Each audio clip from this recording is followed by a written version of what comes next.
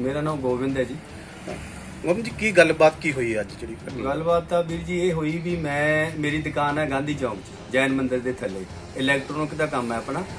ਤੇ ਸਾਹਮਣੇ ਹੀ ਸੀ ਇੱਕ ਦੋ ਮਹੀਨਿਆਂ ਵਾਸਤੇ ਦੁਕਾਨ ਸਾਹਮਣੇ ਹੀ ਆਪਣੇ। ਜ਼ਰੂਰਤਮੰਦਾਂ ਲਈ ਕੱਪੜੇ ਮਤਲਬ ਦਿੰਨੇ ਆ। ਜ਼ਰੂਰਤਮੰਦ ਲੋਕ ਲੈ ਵੀ ਜਾਂਦੇ ਆ ਤੇ ਜ਼ਰੂਰਤਮੰਦ ਜਿਨ੍ਹਾਂ ਕੋਲ ਫਾਲਤੂ ਪਏ ਉਹ ਦੇ ਜਾਂਦੇ ਸਾਨੂੰ। ਮੈਂ ਉਸ ਦੁਕਾਨ ਤੇ ਸਾਡੇ ਕੋਲ ਪੰਜ ਚਾਰ ਬੰਦੇ ਬੁੜੀਆਂ ਆ ਗਈਆਂ ਸੀ ਕੱਪੜੇ ਲੈਣ। ਵੈਸੇ ਲੇਡੀਜ਼ ਅਸੀਂ ਰੱਖੀ ਹੋਈ ਆ ਉੱਥੇ। ਪਰ ਜਦੋਂ ਮੈਂ ਦੇਖਿਆ ਵੀ ਇਕੱਠ ਜਾ ਤਾਂ ਮੈਂ ਚਲਾ ਗਿਆ।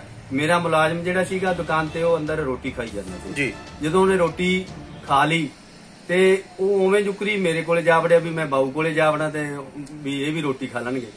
ਤੇ ਉਹ ਇੰਨੇ ਇਸੇ ਦੌਰਾਨ ਦੇ ਵਿੱਚ ਹੀ ਮਤਲਬ ਸਾਡਾ ਸਮਝ ਲਓ 1-2 ਮਿੰਟ 2 ਮਿੰਟ ਲੱਗੇ ਨਹੀਂ ਹੋਣੇ।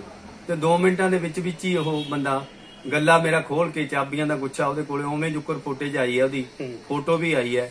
ਉਸ ਤੋਂ ਬਾਅਦ ਅਸੀਂ ਪੁਲਿਸ ਸਟੇਸ਼ਨ ਫੋਨ ਕੀਤਾ ਦੋ ਜਣੇ ਆਏ ਉੱਥੋਂ ਪੁਲਿਸ ਵਾਲੇ। ਉਸ ਤੋਂ ਬਾਅਦ ਅਸੀਂ ਦਰਖਾਸਤ ਵੀ ਦਿੱਤੀ ਤਾਂ ਕਿ ਮਤਲਬ ਇਹ ਜਿਹੜੇ ਚੋਰੀਆਂ ਰੋਜ਼ ਹੋ ਰਹੀਆਂ ਅਸੀਂ ਕਹਿੰਦੇ ਆ ਵੀ ਚਲੋ ਨੁਕਸਾਨ ਤਾਂ ਨੁਕਸਾਨ ਮਾੜਾ ਹੀ ਹੈ ਪਰ ਕਿਸੇ ਹੋਰਾਂ ਜਿਹੜੇ ਹੋਰ ਹੈ ਉਹਨਾਂ ਦੀ ਬਚਤ ਹੋ ਜੇ। ਦੂਸਰੇ ਨੰਬਰ ਤੇ ਮੰਡੀ ਦੇ ਵਿੱਚ ਕਾਫੀ ਇਹ ਮਤਲਬ ਸਿਸਟਮ ਚੱਲਿਆ ਹੋਇਆ ਹੈ।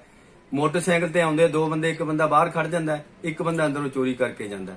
ਸ਼ਰੇਆਮ ਆਵਾਜਾਈ ਦੇ ਵਿੱਚ ਹੀ।